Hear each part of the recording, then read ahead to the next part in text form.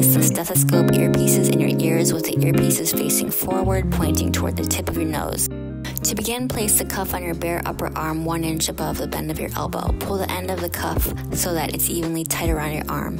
You should place it tight enough so that you can only slip two fingertips under the top edge of the cuff.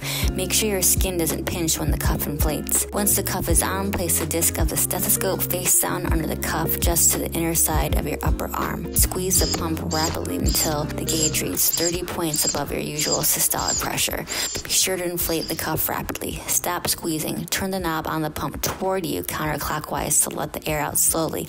Let the pressure fall 2 millimeters or lines on the dial per second while listening for your heart sounds.